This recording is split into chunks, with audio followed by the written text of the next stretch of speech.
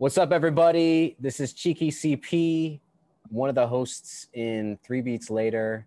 Um, this is episode two of our series called Very Dope Producers. And I am joined today, none other than the magnificent Marcus Elbow uh, from Elbow Media Studios. So, Marcus, what's up? How you doing? Thanks for joining me today. I'm good, man. What's good with you, bro, bro? Thanks for having me on, man. That's what's up. So, just um, if this is your first time watching, this is a series really all about dope producers who are are doing their thing, uh, making music, building community. Um, and this is episode number two. So here we go. I, I have one of the producers on who really helped uh, inspire me kind of get back into music production. So Marcus, just to kind of give you some background, I've been playing music my whole life. I'm a guitar player, uh, play a little bit of bass now. I've been playing in bands forever. Okay. When I was a young young lad, I for about four years I was in a hip hop band, and I also did some hip hop production. And then uh, I moved out of uh, where I'm from, Buffalo, New York, and kind of went down to the DMV area, okay. and didn't do any hip hop production for a while. It was all songwriting, playing all different types of music, world music, you name it. Yeah. And in the last year and a half, I got back into it and one of the people that really inspired me to just do more as much as I could, especially on an iPad, was you and specifically your tutorials. So, first off, I have to say thank you. Um, and second off, I have to say, you know, continue to do what you're doing because what you're doing is amazing. So, thank you. Thank you. The reason I wanted to have this conversation is I wanted to really just, um, you know, shine a light on what you're doing, your community that you're building, your live stream and get a chance to kind of learn a little bit about you know your background your bio so we're going to do some 101 questions up front and uh, i'm going to it's you know here comes the softball questions i just want to learn a little bit about your background so houston born and yep. raised H Town, baby, all day. You know what I'm saying? Uh, went to Atlanta a little while, but didn't stay long. Found out my wife was pregnant, had to shoot back home. Uh, went to LA, did some stuff in LA for a little while, and then okay. uh, went into the went into the being a father business.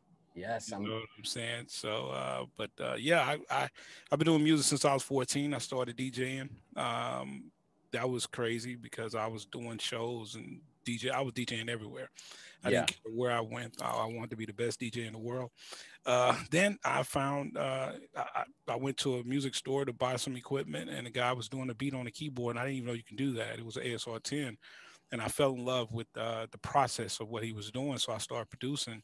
Uh, I think I was uh, 19, 20, uh, and I sold my first beat at 21, and I was addicted. Uh, I just okay. figured this is what I wanted to do uh, for the rest of my life. Didn't turn out that way, but you know, hey, yeah, some people get it, some people don't. You know how this business go.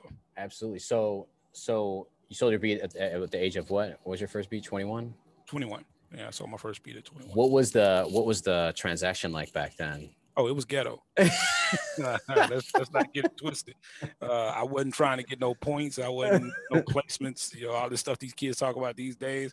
I was trying to put some bread on meat on the table. So, yes, uh, yes. you know, that was, you know, I was talking to somebody, uh, one of my colleagues, about how it was in the 90s versus how it is now. There's so much information available now, and so many yeah uh, so much access to books and things for you to, to learn. That's what my goal is in 2021. As you may have heard in the stream last night, yeah, is to educate my community as far Absolutely. as what you need to do as far as selling beats because you get into this habit, especially now when people selling beats for twenty dollars. I don't understand that. I never. I will. don't get it. Yeah, uh, get but it. Uh, it is a lot of information out there for you to be able. Everybody's not going to get placements, but at least ensure that if you sell your music to someone and they do happen to do something with it, you will have a digital footprint. So if it's played somewhere, you will get paid, you will get royalties, yeah. you, get, uh, you know, you will get compensated. So uh, mm-hmm. back then we wasn't talking about that. Back then mm-hmm. uh, I was living in the hood and a lot of cats was rapping. I was rapping. We had a group and uh, cats come by, they buy beats. I sell it to them for you know five, six hundred dollars, thousand dollars, whatever.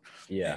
I'll see you later. Do what you do. You right. know what I mean? Yeah, so, yeah, yeah because it was it was it was the numbers. I figured if I sell you know 30 beats a month or 15 beats, majority of them cats wasn't going to be able to get to it because they couldn't get in the studio. It right. cost money to do these things. So right. uh, I don't think any of my beats really just exploded like that because people didn't have access. But you know, if it did, hey, more, more. Hey, big ups to him. You know yeah, somewhere, somewhere, yeah. someone is, did something with one of your beats. Yeah, yeah. You, I, I, did some stuff for a few people. I don't really talk a lot about it. Like I was yeah. telling you before, that's the past. It's been over 20 years. You know, mm-hmm. eight years since I really fully quit, and I've been back for about a year and a half. So my movement is about bettering the producers now and and yeah. producing, getting back to doing what I love to do. That's my main goal. So I, you know, I was mentioning that, you know, back when we were selling beats, it was 2002, and you know, it was very much. We thought, you know, I had a kind of like a production crew, and we thought we were the shit because we, you know, we we understood what the term like non-exclusive meant. You know what I mean? So we were walking around thinking we were official because we were trying to sell non-exclusive beats, and you know, we had like fake fake ass contracts like you know like hey yeah. you know our, our idea was to try to do what is so available nowadays you know via beatstars and the, the different marketplaces that you can put your beats on yeah um, but we you know we didn't really truly know enough and even today you know things are so confusing i think to really any independent artist yeah. uh, especially beat makers you know register to this register to this register to this do that you know and there's yeah. so much that's involves just data and all that that it could get confusing. And back then you know we were even more confused too about what what what the direct route to making money was back in the day. Well hopefully uh in, in this this year we're going to be able to clear some of that stuff up. Uh, that's going to be one of my main goals this year is to not only you know gain knowledge for myself but also yeah to share that knowledge and to get some of this confusion and some of this riffraff out the way, out the way. clear a path. Yeah. So producers can have a clear cut idea of what they're supposed to get and what they, yeah. you know, or do. So because there could be there's so many different avenues too that I think that that's what kind of uh, cloud you know makes it a little bit cloudy is that somebody could want to get their music on you know television somebody could want to get their music just sold sell the beats and I think that that's what makes like the the lane a little bit tougher because there's a lot of different forks that you could take. But um, back to back to your your bio, I want to kind of dig in a little bit further. Um, so, what brought you to to DJ in the first place? I mean, was there any specific yeah. artists that were you know influential to you back then? Of course, of course. I followed. Uh, well, uh, story was I was watching MTV Yo Rap, so I just told y'all how old I am um, and, uh, and, and Fresh Prince and Jazzy Jeff. Uh, I don't remember what song it was. Um, they were they were on, and of course I saw DJ Jazzy Jeff scratching, and it just looked technical. I was I've been always been a technical person. Yeah, uh, I went to school for information technology, so okay. as far as just anything that's got anything to do with tech, I'm I'm about it. And when I seen them scratching, I was like, yo, that looked dope. You know what I'm saying? Um, yeah wonder what it's going to take for me to, to, to figure that out. So I just jumped out my house, jumped on my bike, uh, and rode down to the local uh, radio shack and asked the guy, "Hey, dude, how do I become a DJ?" Wow. And he, and he laughed, but he was like, "All right, we got some mixers over there. You know what I mean? Uh, you yeah. want to buy a mixer? Go check it out." I looked, I saw how much it cost. Don't remember. It could have been 150, whatever. Uh, and I worked my tail off that summer and I bought me a mixer. But once I bought the mixer, I didn't have a record player. So I was like, okay, uh, yeah. what I need a record player. So anyway, uh, Jazzy Jeff, uh, I follow him. Uh, you know, I don't reach out to him or nothing, but I follow his live streams and I watch him. And, you know, as you can see off to my left shoulder, I got a deck behind me. So uh, okay. it's, it's something that I've always loved to do. You know what I mean? And then so from like I said, from there I started producing from there. So so back in the day it was vinyl though, right? You were oh yeah. Yeah. Oh, yeah, yeah, yeah, yeah. How about how have things changed? Do you still uh rock with vinyl or now it's all just those digital uh tables nah, now, right? I got vinyl, but I do it all though. Again, remember I'm a I'm a nerd, so yeah. Uh, but I got records all behind me. I mean, they're all over the place. So I still like to dig in the crates. You know what I mean? There's something about vinyl that you just can't get it anywhere else. Can't be emulated. You know what I mean? So right, uh, you got to go there sometimes. But you know, again, it's so much material out there. You, you got to be creative these days. Uh, I try to tell that to the community as much as possible. Don't limit yourself. Don't think that, you know, just because it was done like this, that's the, the you know, the golden rules that right you got to do it this way. You don't have to do it. You got to do it the way you feel it. You know what I mean? What right. comes to your heart, where your creativity takes you. Mm-hmm. So it's pretty dope, especially the way decks are these days. I mean, uh, DJing these days is, say, bro, they look like cyborgs. You know what oh, I mean? Man. It's crazy. It's crazy. So yeah. I can't I bought, even do some of them tricks. So it's crazy.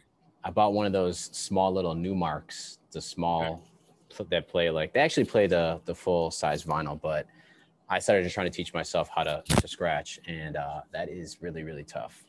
Oh, um, I mean, just because I did it when I was young don't mean as soon as I got my deck, I was back on it. You know what I'm saying? it, it, ain't like riding a bike. Don't never let nobody tell you that. You know what I'm saying? So uh, I had to practice and, and I had to get back okay with it. I'm still not good. That's why I haven't yeah. been on my channel with it because I haven't got to where I want to be. But you know, practice makes you know makes progress. I didn't even know what um what scratch vinyl was until about a year ago. Like I didn't know that you you could buy vinyl just specifically made for scratching. Like to oh. me, in my head, I'm thinking like you're just scratching everything. You know what I mean? But then, yeah, yeah that that was like a mind blower for me. If what about? Think, uh, think about me. I'm sorry. I don't. I don't even okay. scratch vinyl though. I, I scratch. Uh, my my deck is digital. So yeah, that's uh, see, that's the way to go, man. Yeah, but it has uh, a rotating, you know, what I mean, uh, yeah, so, exactly. Yeah, so it's a Denon uh, 5000 DJ 5000. So it's pretty dope. You know, yeah. Saying? You know, it takes some getting used to, but it still feels like vinyl. It right.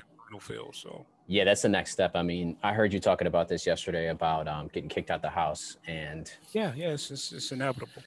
I think the next purchase over here is going to be uh, one of those decks. I have to whisper that. Yeah, right. You know, I mean, hey, man, I, I, you know, I love it. The crazy thing about it, though, she actually, my wife bought that for my uh, for my birthday. Uh, I had been talking about getting back into DJing, and I looked at a couple of controllers. But what I didn't want is I didn't want to have the computer and the controller kind of you know duo yeah. because i got too much stuff in my studio. It just i didn't want to do that. So i went with decks that already had a processor and a computer on them yeah. uh, which costs a lot of money. But right. uh, it's very very cool. I can i can actually stream from from Tidal directly to my deck, so it's pretty dope. Oh wow yeah. So so you're making a you you you start with DJing, then all of a sudden you learn about beat making. You go down, uh, someone teaches you that you could actually make a beat using a keyboard.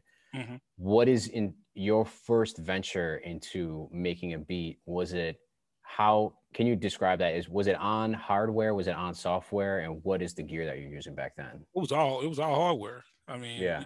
I didn't have a computer or none of that. I mean, that, that wasn't what it was. But funny thing is, uh, I saw the keyboard, but I didn't get it that day. I was broke. Uh, what what I did do was I went got me a little Rinky-Dink Casio, and I had a um, I think I had a Tascam four track I found somewhere. Uh, at a pawn shop or something, and uh, I had a dream a drum machine. I had an Alesis drum machine, and I started that way. I started sampling. Uh, I would sample stuff straight, like I would play it, sample it with the Casio, and then play it back, record it to the Tascam. So I had very, very humble beginnings. Uh, right. Uh, and then when I saved enough money, I bought the ASR 10, and it just it blew my mind. Uh, yeah, going from that small level to being able to have discs and, and sounds and being able to network. Because see, back then you used to have to know somebody that had sounds. You know what I mean? Okay. You can go to Guitar Center and say, "Hey, let me buy a plethora of sounds." So, hey, you got a sound pack? DJs didn't, or producers didn't give people their their sounds. Okay. Wasn't none of that going on. Everybody kept that to their heart because they wanted to have their own sound. Right. Which you know today, you know, eh, it's a little bit different. You know, yeah with uh you know with stuff like splice and all that and it has made it a little bit more uh, everybody kind of has the same kind of sounds and they're trying to fight for and jostle for that sound. Yeah. But back then we didn't do that. Or you just made the sounds yourself, or you just sampled from somebody's beat or Dre, or you took Dre Kit and his you took his kick and you took his uh, snare and it had a little bit of hi-hat in there, but you just did what you could do. And yeah. that was, that's what's the boom bap creative days, you know right. what I mean? But uh, it was it was it was wonderful. That's that's how I started out, man, on the ASR 10 and I bought the TS12.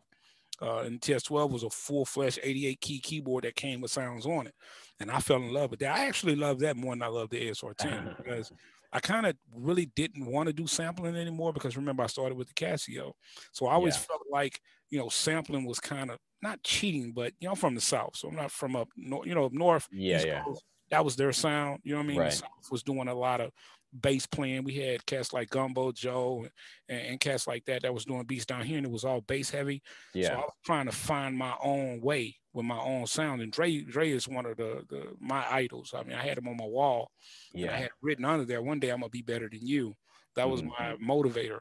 Uh, so when I got to TS12, I had my own sounds. I started making my own beats. But then, you know, we ran into this thing in the 90s where if you had a Triton, everybody was using the Triton. Triton, If you yep. had a Phantom, everybody was using the Phantom sound. If you had a Yeah. TS12, this, that, and the third. So it became a thing. Now is everybody trying to get that next, you know, that next keyboard that ain't nobody using. So the motif came. Ah, I'm gonna get that. You know what I mean? So Yep.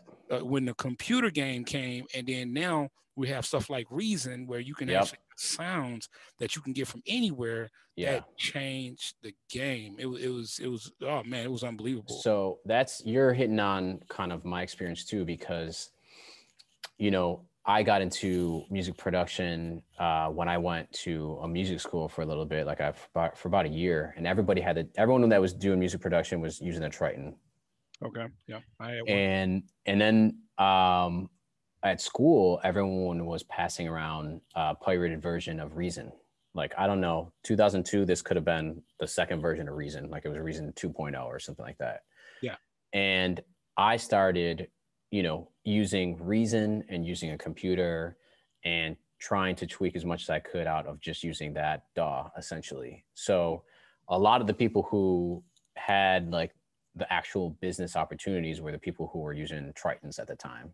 Yeah. You know, um, so that's kind of like the the time timestamp. I'm I might be dating myself as well, but um, yeah, 2002 good. Tritons and Reason, Reason Yeah. 1.0 or 2.0. Yeah, yeah, yeah. I, I I actually, uh, funny thing for me is when I, when I first saw Reason, first I saw Fruity Loops, and I did not like it. I thought that the sound was way too clean. I come from the analog background, for so for me, it just sounded uh, very, you know, just too too good, too clean, too digital. You know what I mean? So I shied away from it. I saw Reason. Uh, you know, Reason looked better because I, I worked in a studio environment, so Okay. I like the way you could flip it and then you can do some patch stuff.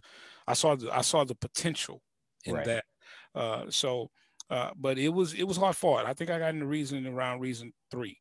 Uh, I don't think Okay. I on right right in the beginning because I had a Roland 1680, and I did have the TS12 and and I had the ASR 10, so I had the capability of doing my own thing. So I didn't. I, I- was doing all of it kind of hardware.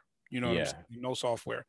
Uh, but then I bought a laptop, and then I got Reason, and then there it goes. You There know, um, yeah, I was I was I was hooked because I had so many sounds that I had uh, accumulated that I was able to transfer to the computer and uh, and get from other places, uh, and it became crazy. You know, I've never had you know 5,000, 10,000, 20,000 sounds before. Right. So when I started feeling that, I felt like Superman. I felt like it wasn't anything I couldn't do because I had all the tools to be able to do what I needed to do. So it was Right. amazing. So can you tell me a little bit more about um, a little bit more about your background in Houston specifically? Um, specifically the scene. You know, I don't know if there was um, you know any specific groups that were kind of um, doing their thing back in the day or studios. You know, my experience in making hip hop was there was always like one or two studios that was affordable enough for you know a lot of the hip hop heads to go to and and try to like get in the studio and get some studio time. But in Houston, I mean, I don't know enough about you know the Houston uh, hip hop scene other than the artists that you could think of off the top of your head, right? You know, Yeah, I mean, yeah, you had Geto You. Boys, Scarface, you had Suave House. I mean, um, had Keke and them, and they were doing their thing, uh, little Keke. So, I mean, we had groups down here. We had we had big time studios. I mean, in '97, uh, we recorded our first album. Uh, we did uh, some stuff at Uptown. This was like a big studio. Uh, Mhm. We spent a lot of money, stupid amount of money. Um, and then that's what sent us off to California. But uh, yeah, the scene was pretty much Scarface, Geto Boys, yeah, uh, UGK. Um, you know, that was the that was the front runners. You know, you had a some local groups, uh, which were, were good. You know, South Okay. Circle. Uh, you had South Circle. You had Deep for Life. You had a lot of groups that were good that I sold beats to because they were local, small Right. uh, groups. But uh, yeah, it wasn't that much. You know what I'm saying? I mean, H Town, the, the singing group was kind of hot. Uh, but yeah, as far as hip hop, if you weren't listening to, to, you know, if you wasn't Rap-A-Lot, then you, you better move out the way because Rap-A-Lot gonna, gonna brush you out the way and bust your head. And they kind of cornered the market on us back then, so it was it was a little crazy, you Yeah. know. But that's that was the life. You had to get you if you couldn't do it with them or you couldn't do it with Suave House, you had to get out and do it somewhere else. So that's why I kind of shot out to Atlanta yeah. for a while and then came back. So um, you shared with me that you know you you kind of had a um, like an eight year um, Hiatus. hiatus. yeah. So uh, you know, I I kind of have a similar experience. Like I would say it was even at least uh 14 years roughly just I, I may be sugarcoating that it may have been longer um but i noticed you know you know all the things that kind of i dreamt about in terms of mu- making music and producing hip hop and i thought that would happen in the future you know i kind of lost sight of when i was playing in bands and then i come back let's just say like a year and a half ago and I was kind of just blown away with how much is at a producer's fingertips. So that would be kind of like my next question is, you know, you take a hiatus and then you kind of come back to music production. Um, can you explain what brought you back and and after you kind of jump back into it, you know, what were some of the big things that you saw being different after that that hiatus? Um, when I came back, well, I guess the reason it was, probably longer than eight years, but I guess I came back and did an album. Uh, I did an album in 2014, and I did a, I had a record label, and I did some things in there. But I don't, you know, again, that was me just trying to hold on uh, to the passion I have for music. Right. Um, when I stepped away and came back, like I said, it was uh, it was about a year, a year and a half ago. Uh, I think that's how long this channel has been going on, and I was I was at a I was at a stalemate. I, I had started a YouTube channel in 2008. Mm-hmm. I don't know if you went back and looked at some of my older stuff, but I, I started out with Reason, teaching Reason in 2008. It did good. It mm-hmm. actually did so good that it scared me because I did not have time to do it. And I, I couldn't foresee YouTube doing what it did. I should have, but I was so focused on my family that I, right. I wasn't trying to see it. I put blinders on. I was just trying to find something to do on Saturday. So I right. started doing these uh, reason videos, teaching reason, and I got a thousand subscribers like that. And I was like, whoa, hold on, this is, you know, what I mean. Then I started getting emails and requests for people for me to do tutorials. And at the time, I wasn't doing any camera. I was just doing screen recording. So I stepped away from that. Started a record label. That didn't work. Stepped away from it totally Still had my studio set up. It wasn't like this, of course. Mm-hmm. Uh, it, was just at a, on a wall with some speakers and monitors. And then I, I I was trying to figure out what I wanted to do. I wanted to do a podcast. I had a buddy of mine that didn't work out, and uh, I was just sitting up, and I was like, what am I going to do? I, I want to get back into music, but I don't want to do it with Reason because Reason had got it got it got a little stale. Right. Uh, they had stuff that came out, Ableton Logic, uh, Studio One. I mean, it was so much stuff out there. Mm-hmm. I didn't even know where to start. I was like, man, this is a lot going on. Where do you go? Then I watched the video. Uh, it was Brandon Rico. Uh, it was Bolo, one of those guys, mm-hmm. and I saw them making beats on the iPad and I could not believe it because I had two iPads 12.9 that I was just watching Netflix on. Yeah. And I'm like, ain't no way that's for real. They're playing. So I got it. It's twenty dollars, whatever. Let me buy it. Let me look at it. So I bought it and I looked at it. Now you got to remember, I've been doing music for years, so yeah. I got a clear understanding about architecture and how right. things work. So I'm looking at this app, Beatmaker Three, and I'm saying to myself, "This is amazing. Amazing. This is real. This is not something that your kid can play with. This is music making on a portable device that you could take anywhere, mm.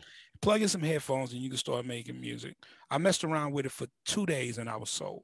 Mm-hmm. And I felt that this was going to be the vehicle that I was going to jump into and ride uh, my my YouTube journey out and yeah. I didn't I didn't think that I was going to do all iOS. What I was thinking was uh, this was going to was going to kickstart my motivation. This wasn't right. about what I was delivering. It was about me being motivated to do it because that's really what was holding me back was myself. So once I got into it and I started teaching it, man, and it went crazy. Like people were just, and to be honest with you, I always kind of knew I had a thing for teaching. Mm-hmm. I started in 8 mm-hmm. but I got more serious about it, you know, a year ago, year and a half ago and when I start kind of getting into the rhythm, people was loving it. They were like, "Man, the way you teach is amazing. You make it so simple. You're not you're not talking a lot about mm-hmm. things that ain't got nothing to do with what you're doing. You just get straight to the point." And I knew how I wanted to do it because I also draw as well. And I, I watched I watched videos with people that was drawing on the iPad. Mm-hmm. So I knew how I wanted to make it look because I saw how they made it look and I yep. loved the way they made it look. So I said, mm-hmm. hey, what if I did that, but did beats? Yeah. you know, and show people how to work that. And uh, so I, I bought some lights and did some different things, had to do some research. And uh, hey, look where it's at now. Yeah. told me a year and a half ago I'll be almost at 7,000. Come on, bro. I ain't got time for that. Stop playing. Well, I was I was definitely one of those uh, those fans, especially of the Beatmaker Three uh, app and those tutorials. That that's kind of what brought me into your world and your community, and that's a good um, segue because um, every Saturday night, and you know, as as as of right now, it is Saturday nights. Um, Marcus does a stream, and I want to dig into that. I want uh, you know you to kind of give an intro for what your stream is for anybody who has never jumped on. First off, you got to jump on Second off, you gotta be in the chat. Yeah, it's uh, fun. And and third off, you'll get to see Marcus's uh, you know flavor of teaching, as he just mentioned. Which, and I got to kind of give you a side compliment. One of the things that I like is that you are making it like really uh, easy to understand, but it's also it's live. When you you know it's really genuine. So when you make a, a mess up and you like might hit a snare where you don't want it you're going back and you're erasing. Everyone's you know no one's you know there's i think in youtube you see too much um too many people are trying to kind of like hide mistakes of course. you know what i mean? And i think that one of the things that you find in your stream is that hey this is making music. You're going to try something out. It might not work. It might work. You know what i mean? Yeah. but anyway so yeah kick, kick it off. Let me know let the world know of all the people who have yet to subscribe and yet to join the stream what is your uh, what is your saturday night stream about?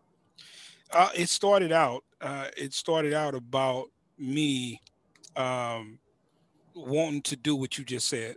I wanted to make it real. Uh, I I'm not gonna sit up here and act like I don't edit either. Uh, mm-hmm. you know, when, you know when you're first of all, my whole thing about because I've done a few beat making videos. I don't do a ton, but I've done some that did well, and it does kind of look like it's kind of seamless. It's like, damn, yeah, you know what I mean? Like, right but it's not.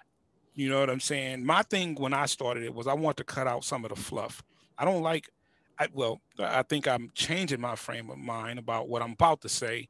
Mm-hmm. I didn't, I didn't like, I don't like watching people make beats. Mm-hmm. Uh, I like the finished product. Mm-hmm. I like some of the drum programming, some of the chord playing, but it can get for me. I guess because I'm a producer, I kind of mm-hmm. get a little bored. You know okay. what I mean?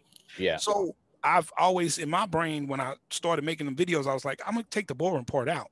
You know, let's just do the fun part.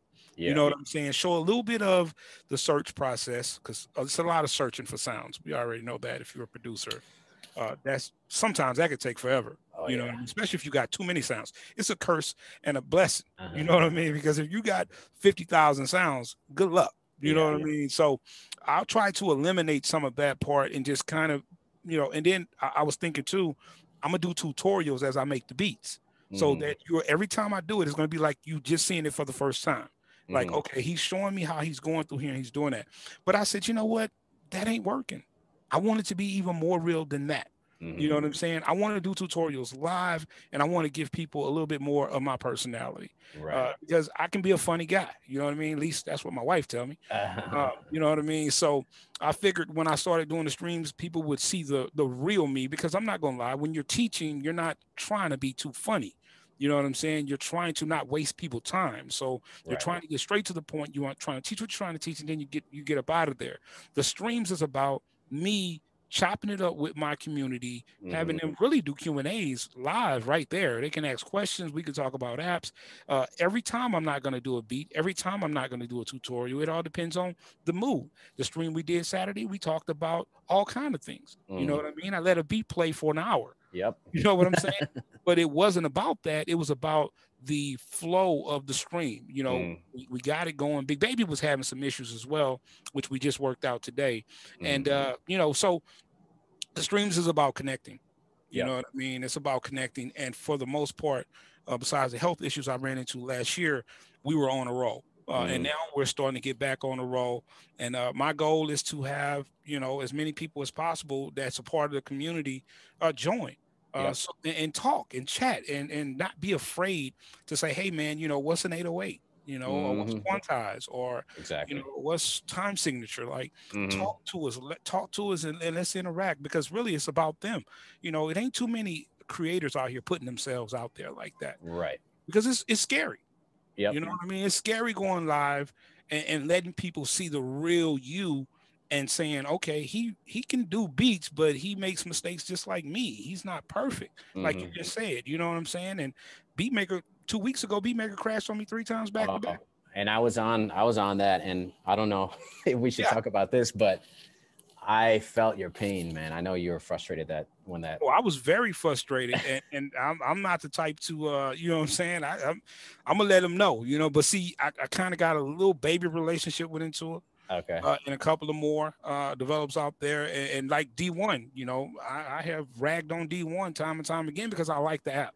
Yeah. If I like your app, I'm a, I'm gonna talk about it because it's frustrating when you're trying to use something that that you want to create with and it keeps failing on you. Yeah. True enough, Matthew with Audio Kit got back to me and he was like, Hey, we're working on a new code. That code is old. Yeah. We're gonna put a new code in and it's gonna be a little bit better. I can appreciate that.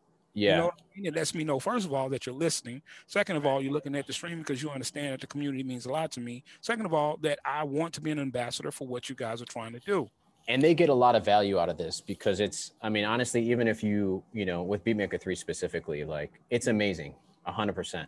Yes, it is. Um, and even if you are beta testing it essentially live, because that's kind of what is happening, yeah. you know, you might run into some glitches or whatever, and they get that data live. You know what yeah. I mean? Like they they would otherwise, you know, companies like Intua will pay beta testers to go mm-hmm. through their software and make sure that it is, you know, yeah. uh, perfect. So when when you you know, I know how it is with Beatmaker 3 because it's crashed on me a couple times, especially when you try to use some plugins, right? That's the number one thing, right? Yeah.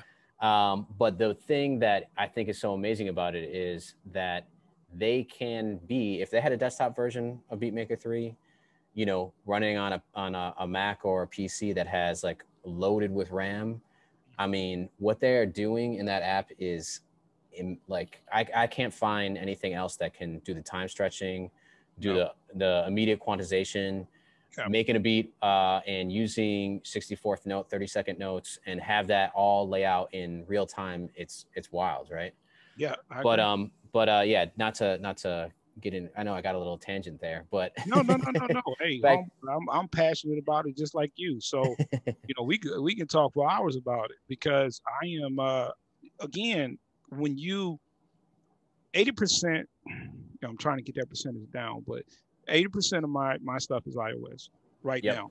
Okay. Uh, like I said, I'm transitioning now, but uh, so this is what I talk about. You know, yep. people email me, they they you know comments, questions, and um, I want to be able to answer those questions uh, as as clearly and and as precise as possible. So that's why I reach out to the devs and try to get them to make uh, to try to make me understand. You know, what what is it? Is it processing power? Is it yeah? Is it the iPad? Like my 2015 iPad, I love it. You may mm-hmm. have seen me kid about it. Big uh, uh, Big Baby said I need to go ahead and use my 2018, which I got it back there, but I'm using it for uh, I'm, I'm I'm testing some uh, using it as a sound module, and uh, I just want to use that. I, I love this. You know what I'm saying? I love having the sound, you know, uh, the ear the earplug, the uh, headphone jack. I love it. You know what I'm saying? Yeah, and I, yeah. I love having a clutter free uh, desk. I don't know if you've seen it, but I'm I could be a pretty clean person.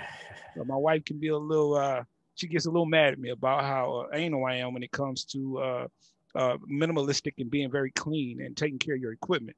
Uh, but I don't like a lot of wires hanging around. And it seems as if if I go to that setup, I'm going to have a little bit more wires than I would like to have on my desk. But uh, it's it's inevitable. I'm yeah. gonna have to go to it. So I might just buy me a 29. Uh, I'm sorry, 2020. Yeah. Or 2021 iPad, and then we're gonna have a different looking setup here. Um, so tell me a little bit more about the stream you have.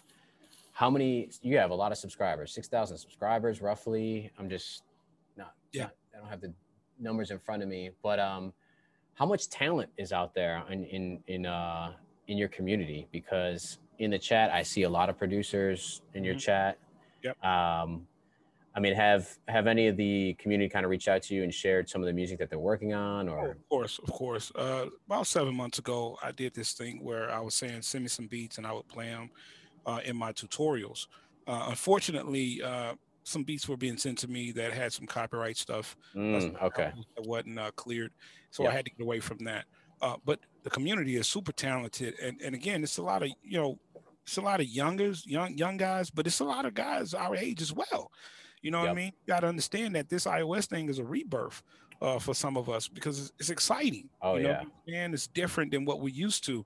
But yeah, it's a lot of talented. Uh, a lot of talented producers out there, man, and I got some stuff planned.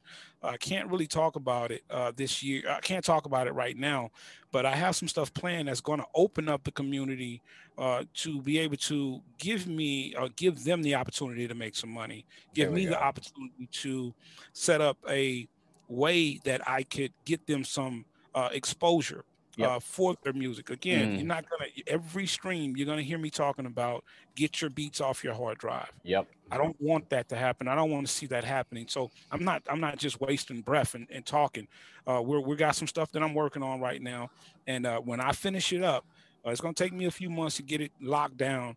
Um, but we're going to start putting some money in some of these producers' pockets, and we're going to start setting them up for uh, the future so that they can start making some money off of the stuff they're doing. Uh, so it's going to be pretty dope. That's exactly what I want to kind of uh, talk about a little bit is just the the business side of things. So, yeah. you know, I hear you talking about this a little bit on your stream, um, and it sounds you sound very much like me when I'm talking to my musician friends. Mm-hmm. Because um, I think for a long time playing in bands, you know, you're you're making money, right? You're going out, you're performing live, you're getting the paycheck, you go home, whatever, and, and you get to play music yeah. Nowadays, I know so many talented musicians who have yet to really put their full feet into the world of fully producing music from their home studio, right? And I have a lot of conversations where I feel that I talk to musicians who have music on their hard drive if they are if they do have a home studio Yep. or they're only going to make music for somebody who needs you know them to play a sax line or something like that and that's the the one day paycheck that they get yeah. and there's kind of a hesitation for people to kind of fully understand all of the the ways they can make money from their music mm-hmm. so i find myself talking to a lot of my friends in my community and asking or trying to like you know be the advocate to say hey let's all work together to get our music out there to sell music to try to get our music on you know television and, and video and all that stuff yeah and I'm not getting any younger. and the more that I want to do music, hey, you look younger than me, bro. you know what I mean? So yeah. The more I'm that grade, I'm grayed up over here. the more that I want to do music, the more that, you know, I think everyone has to kind of come to terms with the fact that you have to find a way to get compensated for the time that you're spending on making music. And I feel like a lot of people aren't really ready for that in some ways. um, but I'm all about you know, trying to be the person to kind of push my network of, of friends to do that. Of course. So, um, how do you view that? How do you view making music as a producer and keeping a steady income coming in the door in whatever way you you can? Um, how mandatory is that? And can you speak a little bit more about getting those beats off of the hard drive? Well, I'm a, I am a hustler. I mean, and I'm a hustler, a businessman. I'm a I'm a businessman. That's that's all I've ever been. Like I said, I sold my first beat at 21. Um, I was running, you know, I was running beats through the hood, you know, selling the catch. So it's always been about. Don't get me wrong, I love making music, but it's always been about making something off the music. Uh, yeah. That was my goal because my mom didn't have a lot. She was sick. Uh, my dad wasn't around. My brothers wasn't around. So I had to figure out a way to get paid. So when I was DJing, I was doing tapes to uh to I was dubbing tapes of music and selling them in high school, you know what I mean? Ten mm-hmm. dollars mm-hmm. a tape or whatever. So that part of it needs to never go away. I think that uh since it's not so tangible, people can't touch it anymore. They think they, they can't sell it. You know what I mean? It's like, well, my, you know, I used to put my beat on something and pass it out. You know, okay, well now you can put it on Instagram or you can put it on YouTube. People can still hear it. Mm-hmm. You just need to, like I said, you just need to set up a business, a business um, infrastructure to where when people play your beats, you get paid from it. You know what I'm mm-hmm. saying? Or they'll get copyright infringement on their video, and then you'll get paid from it, whatever they make off of it. And I don't advocate for that, but at the end of the day, get it cleared. You know what I mean? Mm-hmm. So I am trying to instill that that mentality into my young community and even the old is that you can still make money off of this. I remember five years ago, people thought that the music business was over. We can't make money anymore now. If you're not doing shows, you can't get paid. Well, it felt like that, but now companies, because guess what? We want to make money. Companies want to make money, right? Everybody Uh-huh. trying to get paid. Yep. So now companies are trying to incorporate so many digital imprints on everything you do that it, it, it is becoming abundant that you cannot put anything out. Trust me, I'm a YouTuber. I know. You put Mhm. put something out, boom, YouTube hit you up. That's somebody's stuff. They they copyright and they shut your video down, and that money goes to the person that that you have that uh that Oh, copyright infringement on. Did you know that? we know we know all about that on on our stream on three beats later. Exactly. So, you know, at the end of the day, it hurts sometimes, I think, because you're like, damn, I didn't even know that. Or, you know, somebody samples something and you're like, oh, he can get it clear.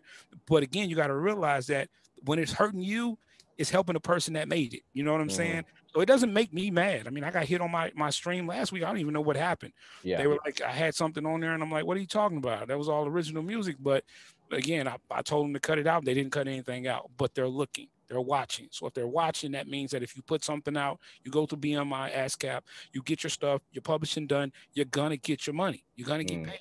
So don't be afraid to do it. I just think that a lot of producers don't know how to do it. So I Mhm. would tell any producer to go buy you some reading material. They got this book. It's called. I want to make sure I say it right, uh, and I just don't know it off the top of my head because I read a lot of books. But it is called "All You Need to Know About Music Business" by Donald Passman. Mhm. Go pick that book up. That book will teach you about royalties. It'll teach you about streaming, uh, streaming royalties. It'll teach you about everything you need to know about contracts and all that. Educate yourself. I'm gonna help you out, but I'm not gonna go through every line. You know what I mean? Because Yeah, yeah. I'm a firm believer that people need to help themselves in order to get to where they want to get to. I'm Mhm. not going to give it to you for free. Now, I am going to create a service to where you can get your stuff heard, but I'm also uh, going to do it in a way to where you're still going to have to put some lab work in. I Mhm. also have a branding company. I had another one of my uh, one of my uh, subscribers, which is a family member now, reached out to me and said, "Hey, Elbow, I need an album cover, bro." I said, "All right, I have a business. This is what I charge. I don't do it for free, but I tell you Mm. what, the product you're gonna get, you're gonna love because I'm a digital artist. That's what I've been doing for 15 years. He sent me to work. We did it. Boom, bam. Oh, uh, 24 hours later, he had an album cover. He's thanking me constantly over and over again. So I don't just have music to offer. I don't just have advice to offer. I have opportunity to offer. And if Mhm. you're willing to listen and you're willing to invest in yourself, then man, there's really no no limits to where you could go and what you can do with your music. And that's what I'm trying to sell. And that's what I'm trying to preach. And uh yeah, yeah, we trying to get across this year. we, we need more voices like that. I mean, I think everybody looks at you know how they can sell their beats um, as a way to make money, but I think that there's so many other ways to get compensated through music making, and it's it's good to have reminders and people who are advocating for that 100. percent Yeah. Um, you know, have you ever thought about or have you ever um, did any research about um, talking to those developers that you know and, and trying to make some sort of plugin yourself? Is that is that on the horizon? That could be a That's funny. Yeah, yeah, I've, I've, I've definitely did that. Uh, trying to figure out what is it going to take because I'm not a programmer, but uh, it, it is a you know it, there are some kits out there that you could use. Audio Kit actually, Audio Kit, no pun intended, has kits that Mm. uh, they they actually lend out to use some of their infrastructure to make different type of stuff that you want to make. It is a process. yeah. Uh, Hack Attack uh, did it, uh, and I thought that was great. Uh, I think uh, Brandon, I'm, I'm sorry, Henny Tha Bizness, uh, they did it. You know, they Mm. put out an app. Uh, it is it is a long, lengthy Long process. process. Uh, I don't think I'm there yet Mhm. because the way that I think and the things that I imagine. I'm a, I'm gonna be living in a cardboard box. I keep telling y'all.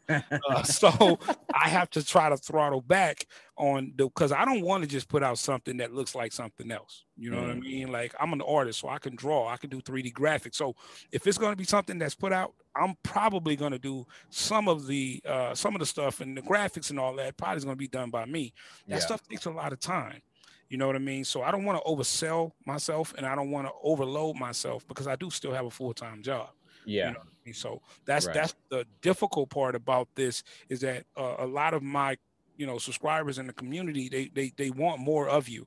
You know, Mm. as you start to grow, you will start to realize that this could be very taxing on you if Yeah. you do not manage your time well. yeah. And I had to learn that because it was Mhm. like, bam, bam, everybody want a piece of me. And I'm like, Jesus, I can't, you know, reach out to everybody and help everybody. But uh, Mhm. you just got to be able to manage your time, and, and it's coming. You know, my goal again is to 2021, 2022, uh, really work towards being, um, you know, able to do this full time uh, Yeah. with my side business, with my graphic stuff, and then with this uh, this idea I got coming up. Uh, it is all about me doing this full time. That's my number one goal. Yeah, well, more power to you, man. I mean, that's like that's definitely one of the dreams uh, Yeah. that I have there. You know, making music every day and, and and getting good paycheck from it. Okay.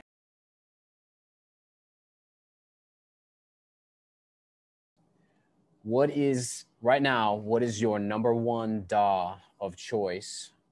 Whether that's hardware or software, what are you rocking with?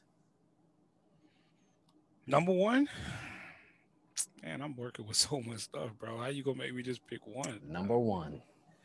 It, it- but I don't. I mean, it's hard for me to answer that. But if I had to say one, I, I would have to say Reason because I know it. Okay. I mean, I could say uh, Ableton. I could say them all because I work with them all. But Reason, I'm gonna say it just because it's. I'm gonna give them their props. Okay. Okay. So They're trying. Okay. Um, similar question. This is like a desert island question. Mhm. You're on a desert island, deserted island. Desert, deserted. Okay. Desert, a deserted de- desert island. Yeah.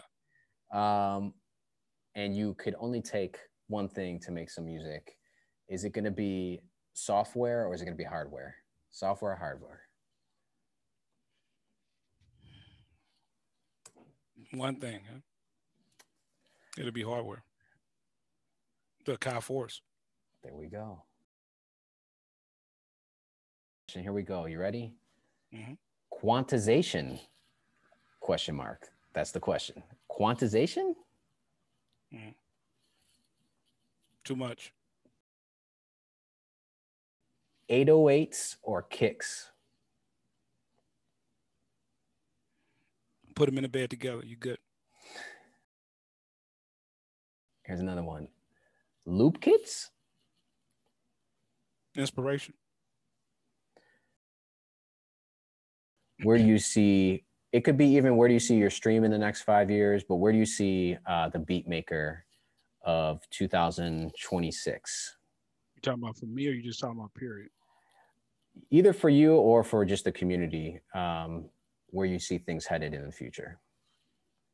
a coalition of, of dope ass producers that can all say that they've collaborated with Elbow Media Studios and, and they've become better and they've become fruitful and, and they've sold music and they're they're successful.